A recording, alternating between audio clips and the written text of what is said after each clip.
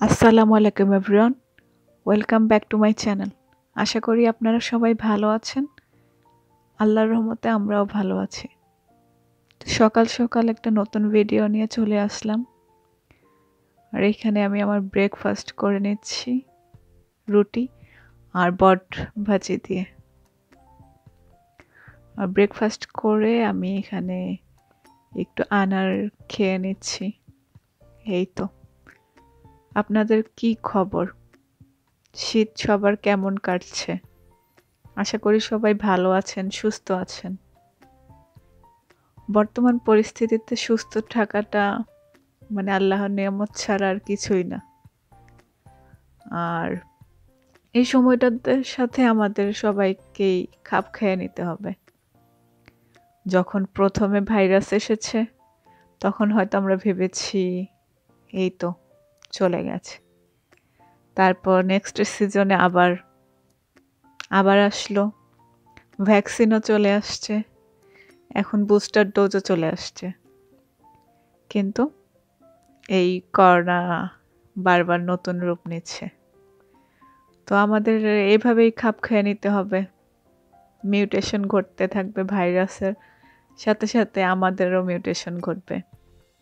আমাদের রোগ প্রতিরোধ ক্ষমতা হয়তো বাড়বে। আস্তে আস্তে। এই তো, এটাই তো প্রকৃতির নিয়ম। আমরাও এক সময় এটার সাথে থাকতে থাকতে এমন একটা পর্যায়ে চলে আসবে যে করোনার সম্বন্ধে যা একটা ভীতি আছে এখন, সেটা হয়তো কয়েক বছর পর আর থাকবে না। কিন্তু এই সময় আমাদেরকে সাবধানে থাকতে হবে। তাই তো। সবাই মাস্ক পরবেন, স্যানিটাইজ করবেন। এই তো, আর বাড়ির যারা বড় আছে তাদের প্রতি একটু খেয়াল রাখবেন। এই তো। অনেক কথা বলে ফেললাম, তাই না? একটু জ্ঞানই দিয়ে ফেললাম। কিন্তু নিজেদের ভালো থাকতে হলে আমাদেরই তো নিজেদের খেয়াল রাখতে হবে, তাই না? তো আশা করি সবাই নিজের খেয়াল রাখছেন। আর এখানেই তো গরুর মাংস রান্না করা হচ্ছে। অনেক টেস্টি হয়েছে। আমার এখন তো এডিট করার সময়ই আবার খেতে ইচ্ছে করছে। যাই হোক, এখন কিছুই করার নেই। আপনারাও আমার মতোই দেখতে থাকুন। আর এখানে হচ্ছে লাল শাক, চিংড়ি মাছ দিয়ে রান্না করা হচ্ছে। এটাও আমার একটা ফেভারিট খাবার। যদিও আগের মতো টেস্ট নাই।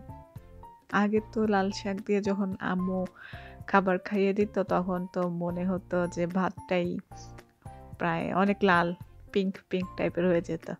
আর ওই ভাত দেখেই মনে হয় আমি খেয়ে ফেলতাম। কিন্তু এখনকার কি বড় হয়ে গেছে দেখে সেজন্য কোনো কিছু সব কিছু পাল্টে গেছে নাকি তা বুঝতেছি না। বা এখন ফরমালিনের যুগে, ভেজালের যুগে হয়তো সব কিছুই চেঞ্জ হয়ে গেছে। আর এখানে খাওয়া দাওয়ার পর আমি এই তো চা খাচ্ছি রোদে বসে বসে। আর এখন এই তো কি আর করার আছে? একটু সোশ্যাল মিডিয়াতে ঘুরতেছি। এই, সবারই তো আমাদের এখন এক কাজ। ফেসবুক ইনস্টাগ্রাম ইউটিউব এগুলোই তো। আমাদের টাইম পাস করা একটা মাধ্যম।